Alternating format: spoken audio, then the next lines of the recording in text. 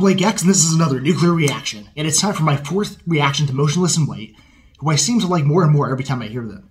Um, this time I'll be checking out their newest song, Masterpiece, including the official music video, and it's off their upcoming new record called Scoring the End of the World. So, I've heard a pretty good mix of melody and heaviness and attitude from these guys so far. Um, and so I'm guessing that we'll get that again here, or it could surprise me by being something completely different. I haven't heard them enough yet to really be able to gauge their style or how often they change things up. But I'll be open minded and fair as always, and afterward I'll get into the lyrics and give my own thoughts and perspective. And if you're new here and wondering why my reactions run longer than other channels, that's why. You get a full review after the reaction itself. It's a full immersive experience. So if you are new and that's something you're into, then go ahead and dismember that subscribe button and become part of the nuclear family. Then hit that bell for notifications. And the best way to support this channel and help it keep going strong is by becoming a patron. That'll be linked in the description beneath this video. Two bucks gets you access to perks and bonus content, and there are four tiers overall. Tier 4 lets you make a song request and push it to the head of the line, guaranteeing a reaction to it right away. Otherwise, you can put your request in a comment, and if I pick yours, I put it on something called the infinite list. If it's on that list, I will get to it eventually, but it could take quite a while. So Patreon just speeds up that process and gives you what I like to call that special VIP treatment. Alright, Motionless in White Masterpiece official video. Not gonna waste any more time rambling. Let's get into this. In three, two, one, go. All the stupid lies and the stupid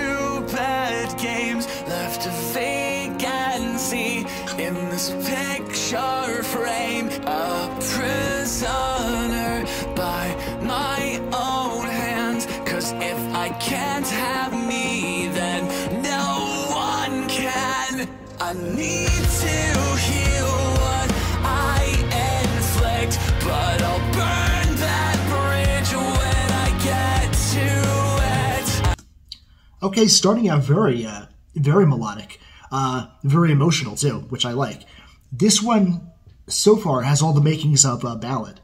Um, not really a ballad in like the, the super soft sense. Like there's still elements here, instrumentally speaking, that you could tell it's not like uh, they're going in a super soft direction. And of course, they may kick things into uh, high gear here and you know really go shooting into heaviness at the most unexpected moment.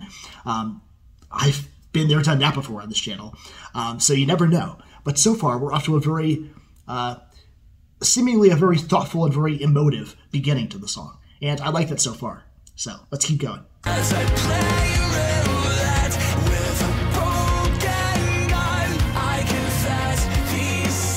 I've really gotten to like Chris Motionless' voice too. It's really grown on me.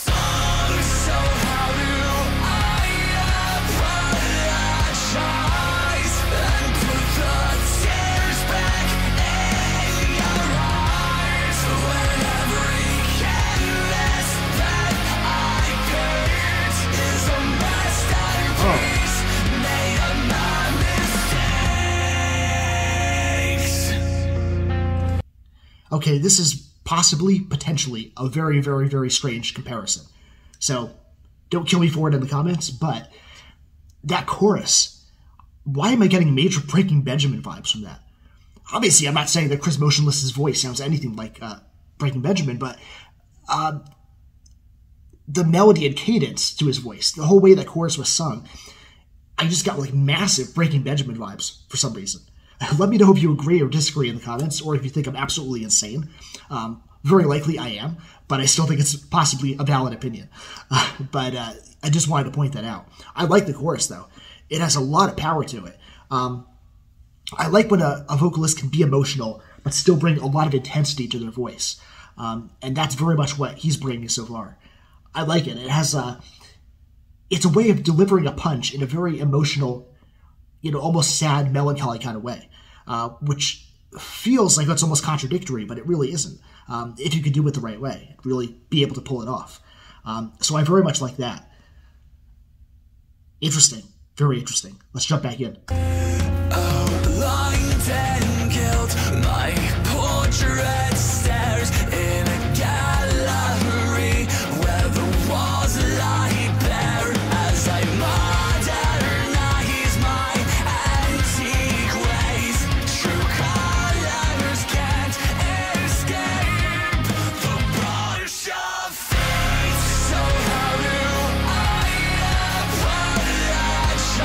Love how they suddenly added a little bit more heaviness. Very nice.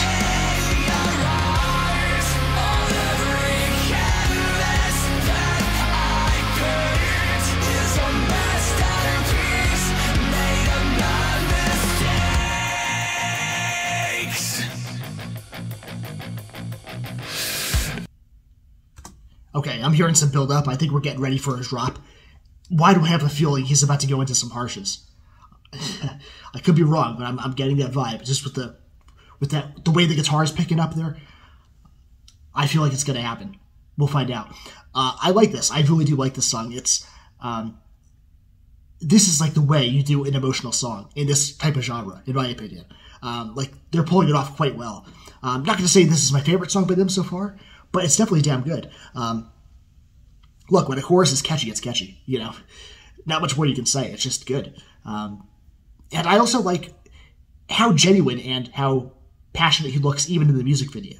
Obviously, I know it's a performance art, the video itself, but to be able to do that, um, especially when it's a video mostly just about the band playing, um, obviously there's some scenes interspersed here that convey how he feels. Um, but being able to add that emotional element, even visually speaking, in a music video, I think is like an added bonus. Let's continue. Illustrate all my pain. Oh yeah, he's going for it. Fucking knew it.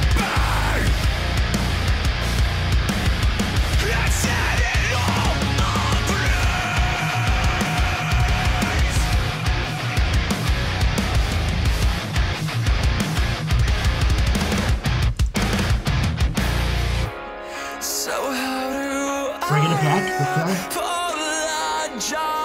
And put the tears back in your eyes when every canvas that I paint is a masterpiece of my mistakes and in the light of my Oh, subtle keyboard there. Synth, I should say.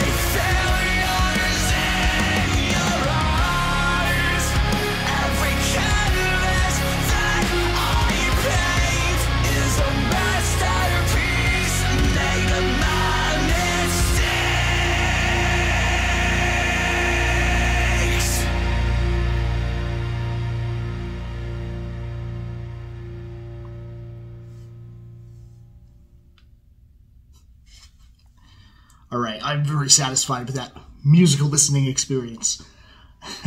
Look, I don't care what anyone says. This is uh, Breaking Motionless Benjamin in White. I, I, I mean, that's really the vibe the chorus gives me. Like, I have, I'll have to watch some other videos and watch some other breakdowns of the song because I'm really damn curious to see if other people had the same takeaway that I'm having. Like, I just genuinely feel that. Like, and, and that's uh, you know, for me, a positive. It's a compliment uh, for the record. Um, but I also will say, this was still very much, you know, obviously a Motionless in White song. Um, Chris's voice is really good, and I thought that from the beginning. It's just that when I first started reacting to this band, I didn't necessarily know whether his particular style was to my taste. And at the time, probably wasn't, at least not entirely. Um, like, if you go back to my first Motionless in White reaction, you'll see that my opinion of them is not as high as it became with the next couple of reactions that I did. It took a while, it was a process, and it definitely did grow on me. Um, but now that it has, I'm very much a fan of his vocal approach. Uh, he's very talented. The way he had that sustained kind of uh, little scream at the end, not really a scream, more of like a, a snarl. Um, the way he shifted his voice, the way he shifted his pitch, and the way he kind of let just let that linger as the song came to a close, I think that speaks to his talent. This whole song really speaks to his talent. Um, and I feel like this could come off as very generic in terms of how the chorus is sung if you don't have just the right voice for it. And I think because of how unique and how right his voice was for this part and for this entire song, I think it works especially well because of that. Um, it crosses the line from being just another verse, chorus, verse song to being a song that has a little bit more to show for itself, a little bit more to give. Um, really like the guitar, really like the drumming. Um, nothing really uh, profound that I have to say about that. Uh, I just thought this was just as good instrumentally as it was vocally. Um, it was about the right length for me, um, for the type of song that it was, And I like the way that it just took you on a very short but very well executed journey from very emotional to very heavy, almost angry in a sense, and then back to more of a melodic, melancholy feeling once again. It sort of brought things full circle um, when it comes to the emotional spectrum. Um, so I liked it. I, I, thought the video was very good, very engaging.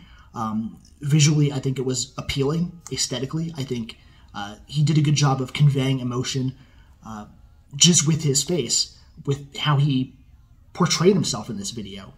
Um, when where you just have a music video where, where it's primarily the band playing, it's very easy for that music video to just become forgettable and for the music to really carry things. Um, whereas here, the music video had its own role to play, and I still thought it was, you know, really decent and really, um, I think, went the extra mile to grab you and just make you feel even more invested. Um, as if the music doesn't do that already. um, I thought it was really solid for sure. Uh, really a good song, and this all, in a way, it showed me the softer but still powerful side of the band in a way that the previous songs that I reacted to didn't those songs more or less uh, leaned into the heavy side of things in a less emotional sense. Um, maybe that's not the 100% right way to put it, but it more so leaned into heaviness in the traditional idea of what you would expect in these types of genres. Whereas this, uh, it was emotionally heavy and emotionally resonant, while at the same time, uh, it didn't lose any of that heaviness music wise. Um, so I think it struck that balance on both counts, and I think that was very, it was a very good choice. I'll just say it that way. Um, so yeah, thoroughly enjoyed this one. Again, it's not my number one favorite so far. I have to really think about what my favorite would be, um, but definitely it has replay value for me, and um, glad I checked this one out. And uh, there's another new one that they dropped called Cyberhex. Um, I know at least one person, I think, asked me to check that one out. So maybe I'll do, be doing that in the very near future. Um, if you guys really want that to happen, let me know in the comments. Or else you have the Patreon option, which I would recommend. Um, but that's what I think about the music. Now let's get to the lyrics. All the stupid lies and the stupid games left a vacancy in this picture frame. A prisoner by my own hands, because if I can't have me, then no one can. I need to heal what I inflict, but I'll burn that bridge when I get to it. As I play roulette with a broken gun, I confess these sins with a sharp and spiteful tongue. So, how do I apologize and put the tears back in your eyes when every canvas that I paint is a masterpiece made of my mistakes? Outlined in gilt, my portrait stares in a gallery where the walls lie bare.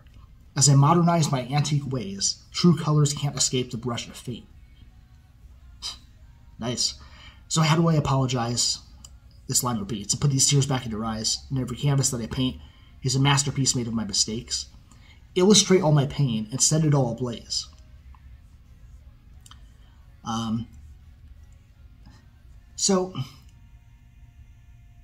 I want to say that this is a relationship song, but it seems broad and open ended enough to where it could be applied to any number of things. Um, you know, and that's the versatility of art and the, the subjectivity of uh, lyrics when it comes to music. But from what I can tell, this seems to be about losing someone who is uh, so over you that they're not even emotional anymore. Uh, they just feel a sense of apathy, and the perfection that you envisioned in a picture frame of you both together uh, has been ruined. And then it seems like he's trying to hurt himself because he feels so guilty and in pain over what happened, but he can't even do that right. Like it says, I play roulette with a broken gun. And then Every canvas I paint is a masterpiece made of my mistakes. So the irony would be that the only thing he's good at is being uh, a beautiful disaster. In other words, if there was some uh, mistake making competition in the world, he'd probably win the grand prize. That's more or less how he sees himself. Um, and he feels he's too broken to even be self destructive in a successful way. Which is an interesting idea, actually. Like, can you be so broken that you can't actually break anymore? I guess you can. Um, it's a strange thing to consider, but if so, then it might actually be the perfect place to start healing. Because when you're so far down to rock bottom that you're actually under the rock, uh, the only direction left to go is up. So it's an interesting way to think about things. It is. You know, I say I feel like this person he lost is probably no longer even feeling emotion for him. Uh, she's probably apathetic about it. She can't cry or be in pain about it anymore. She just feels empty. Because it says, So how do I apologize and put the tears back in your eyes? And that must be really rough when you love someone who's gone so far past hurt that they've just completely numbed themselves to you.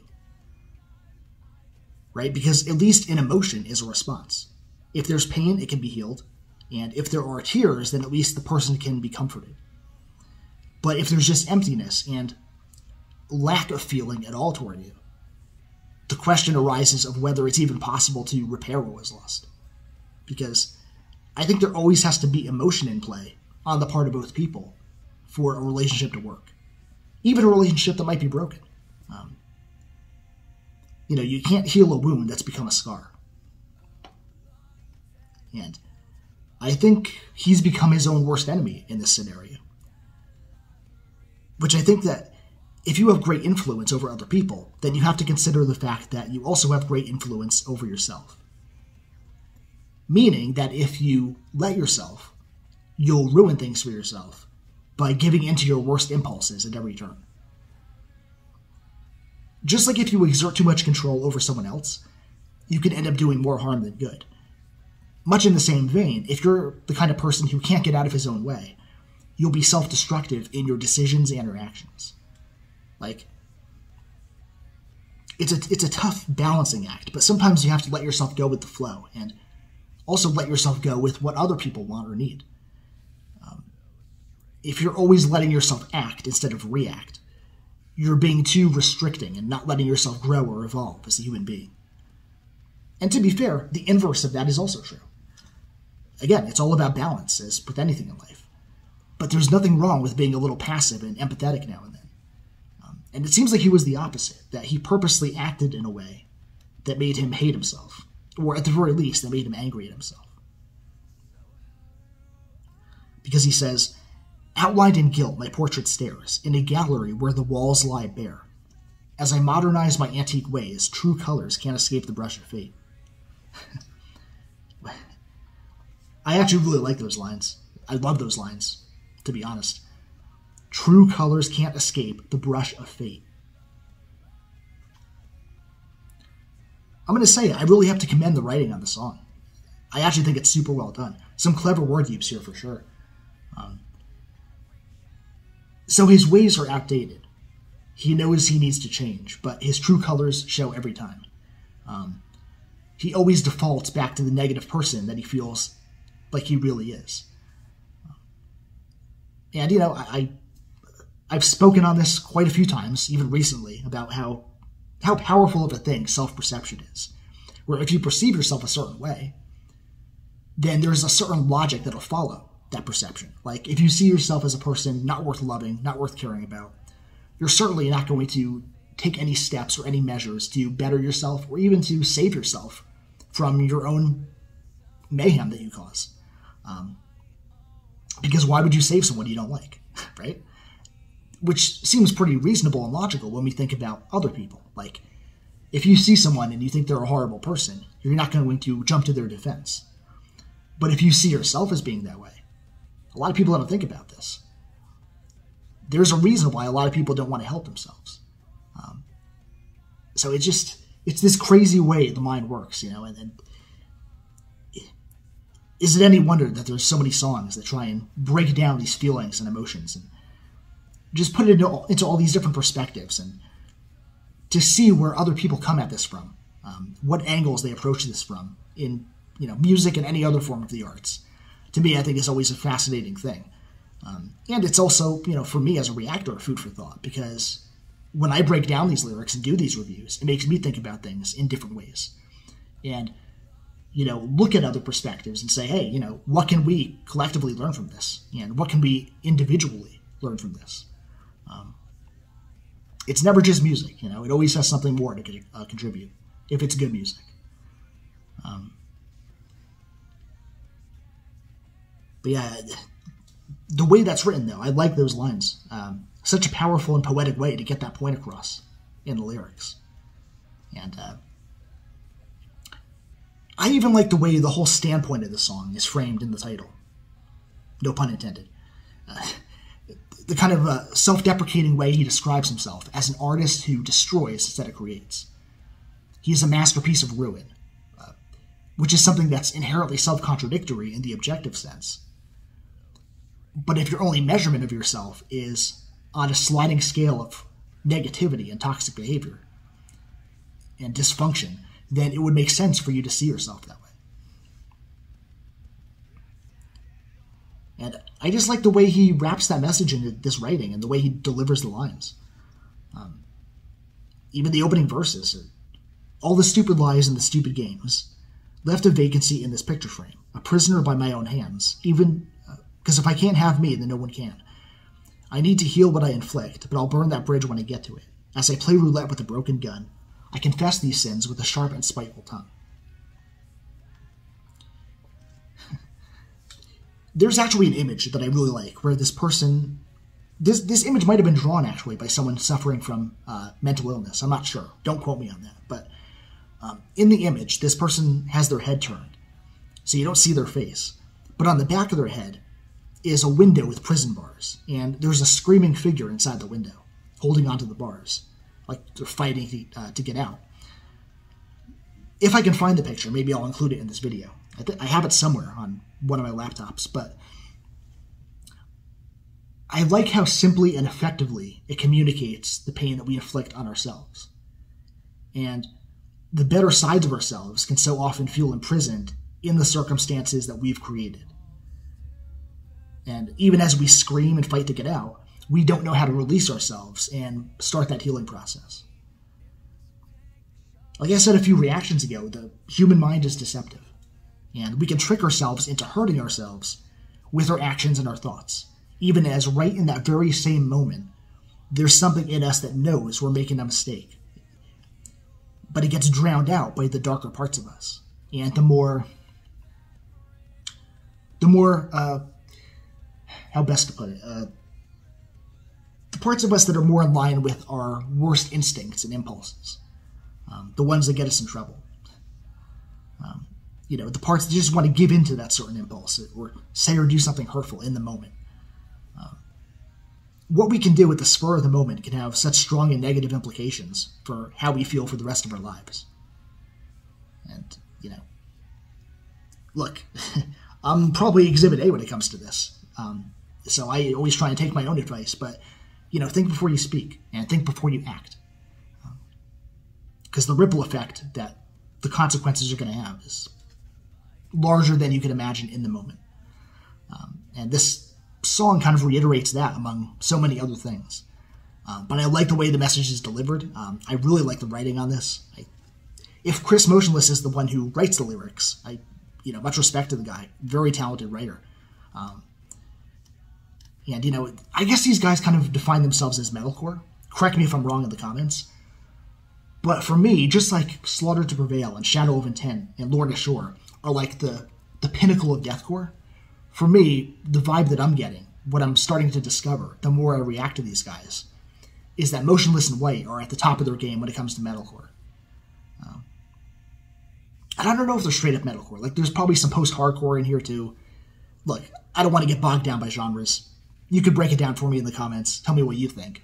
Um, but the point is, the point that I'm trying to make is that I think these guys are just really at the top in terms of talent and uh, in terms of just how damn good the music is. So, like I said, the re-listenability factor on this one is is really up there. Uh, so all around good stuff. In terms of rating, I'm going to give this one a very strong 10 out of 12 on the Doomsday Clock. And that's pretty much it. My reaction, my review, my breakdown. If you made it this far, I really appreciate that. Like I said, I know my videos run longer than other reaction channels, but if you get something out of it, worth it. So, don't forget to hit subscribe on your way out, hit the bell for notifications, check out patreon.com slash nuclear reactions. Much more content on the way. Much love and respect to the nuclear family, and I will catch you all on the next one.